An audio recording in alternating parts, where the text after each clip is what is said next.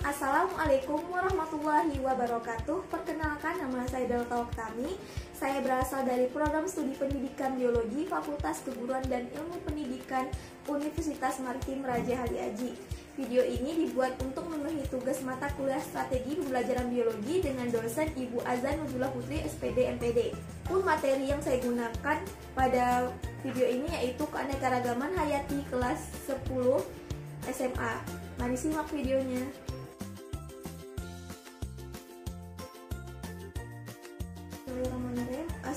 Assalamualaikum warahmatullahi wabarakatuh.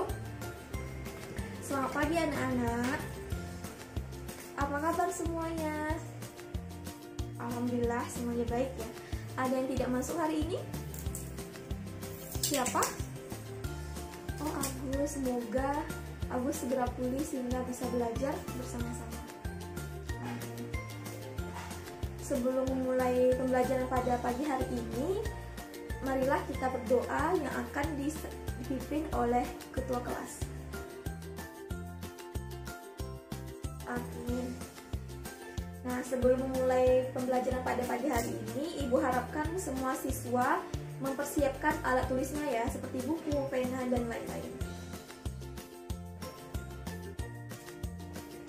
Nah, sudah selesai semuanya? Jika sudah, ada yang tahu nggak kira-kira kita mau bahas apa hari ini? Ya, benar. Nah, pada pagi hari ini kita akan belajar tentang keanekaragaman hayati. Nah, sebelum Ibu menjelaskan, kira-kira anak-anak Ibu nih tahu nggak apa itu keanekaragaman hayati? Ya, apa tadi? Ya, benar, keanekaragaman. Terus apa lagi? Variasi. Terus apa lagi? Oke, benar ya. Jadi, ke, e, keanekaragaman itu terdiri dari dua kata.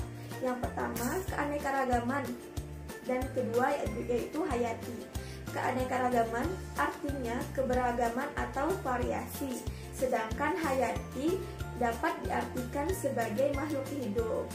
Jadi dapat disimpulkan bahwa keanekaragaman hayati adalah suatu keberagaman berupa organisme atau makhluk hidup yang menunjukkan keseluruhan variasi organisme. Adapun tujuan dalam pembelajaran keanekaragaman hayati yang Ibu harapkan, siswa diharapkan dapat menjelaskan tingkatan keanekaragaman hayati.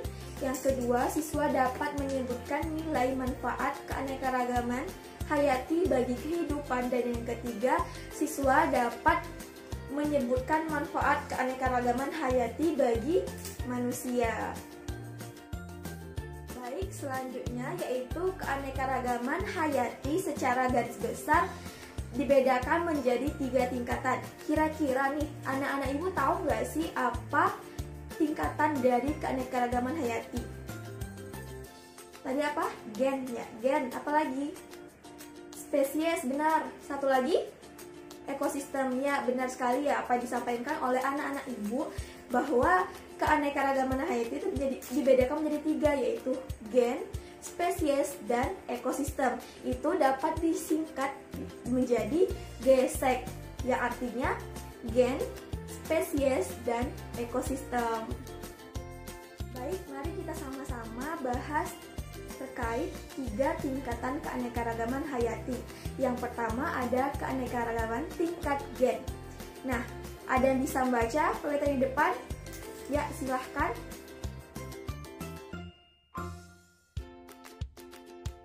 Nah, jadi keanekaragaman gen adalah variasi atau perbedaan gen terjadi pada suatu kelompok spesies dalam suatu ekosistem atau makhluk hidup.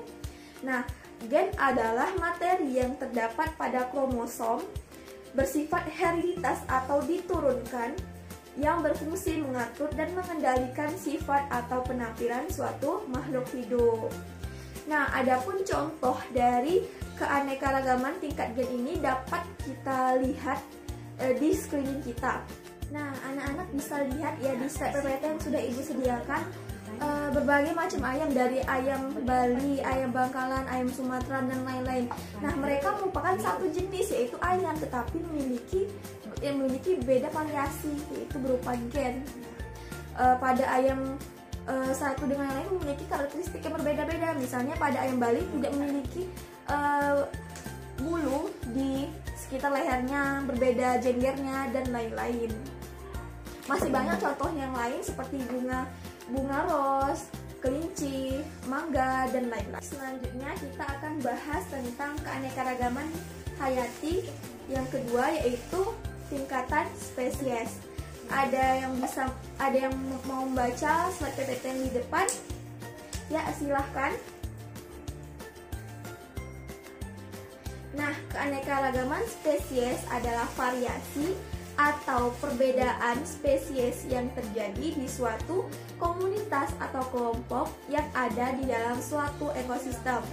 Nah, dua makhluk hidup dapat dikatakan satu spesies jika keduanya dapat melakukan perkawinan secara bebas dan menghasilkan keturunan yang subur atau fertil. Nah, selanjutnya yaitu contoh keanekaragaman tingkat spesies. Nah, misalnya di suatu hutan itu terdapat harimau, singa, kucing, citah. Nah, mereka itu merupakan satu kelompok atau satu komunitas, tetapi berbeda spesies atau berbeda jenis. Nah, kenapa bisa gitu? Ada yang bisa menjawab? Ya, silahkan. Ya, benar sekali mereka merupakan memiliki kesamaan. Ada yang tahu kesamaannya apa aja? Ya, silahkan. Oke, termasuk hewan mamalia. Ada lagi? Ya, berkaki empat. Benar sekali ya. Selanjutnya, ada lagi? Ya, silahkan. Ya, benar sekali memiliki gigi yang panjang atau taring yang panjang untuk memangsa mangsanya. Oke, menurut ibu, anak-anak ibu ibu paham ya tentang keanekaragaman tingkat hayati, tingkat mohon maaf maksud ibu tingkat spesies. Baik, selanjutnya yaitu keanekaragaman tingkat ekosistem. Nah, ada yang mau membaca PPT-nya? Ya, silahkan.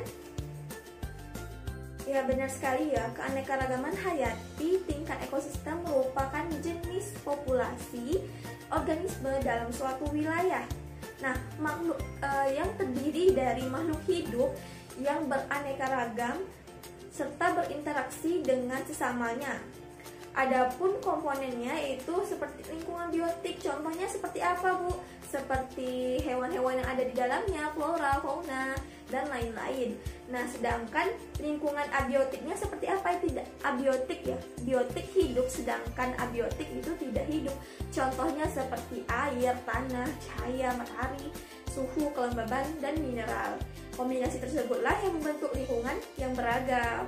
Nah, itu contoh keanekaragaman tingkat ekosistem. Nah, di dunia ini tuh tentunya banyak sekali ya uh, keanekaragaman tingkat ekosistem itu seperti gurun, padang rumput, taiga, hutan hujan tropis, hutan gugur, dan lain-lain. Nah, coba anak ibu perhatikan slide yang ada di papan tulis. Nah, pada gambar tersebut ada sebuah ekosistem. Coba anak-anak ibu jelaskan apa saja uh, komponen biotik dan abiotik pada gambar tersebut. Coba sebutkan. Ya, silahkan. Dimulai dari biotik dulu ya. Biotik apa saja tadi? Ya, benar. Ada rusa. Ada lagi? Buaya pintar. Ada lagi? Ikan. Ada lagi?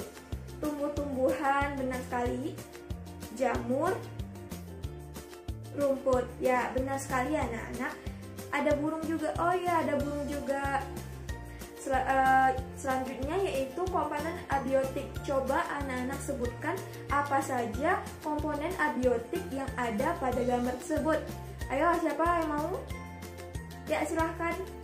Ya, benar, sinar matahari. Yang kedua, air, kelembapan ya. Ya, jadi menurut ibu anak-anak ibu udah paham semua ya materi yang sudah disampaikan pada pagi hari ini. Nah untuk mengetes kepemahaman anak-anak ibu tentang materi yang sudah dipelajari pada pagi hari ini buatlah kelompok terdiri dari 3 sampai 4 siswa mencari dan berdiskusi terkait materi yang sudah dipelajari pada pagi hari ini yaitu keanekaragaman hayati yang ketiga, memaparkan hasil diskusi di depan kelas bersama-sama.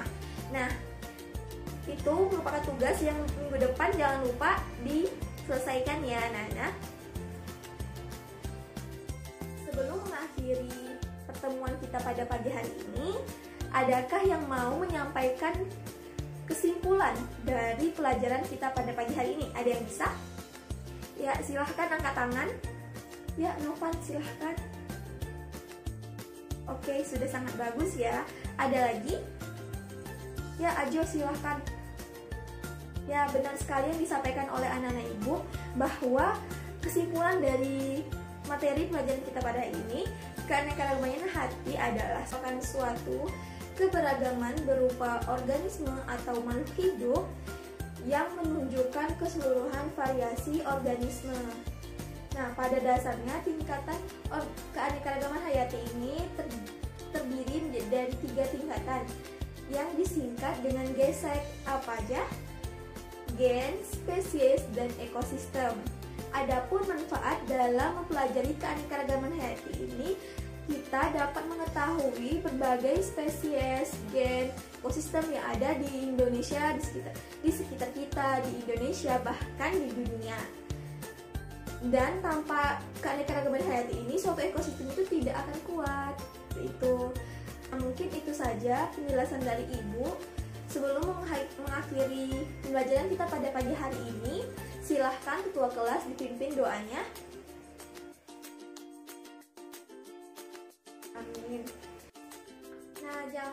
Ditulis dan dibaca kembali ya materi yang sudah dipelajari pagi hari ini. Seperti kata Ali bin Abu Thalib, ikatlah ilmu dengan menulis. Nah, mungkin itu saja yang dapat Ibu sampaikan. Terlebih terkurang mohon dimaafkan. Ibu akhiri dengan wassalamualaikum warahmatullahi wabarakatuh.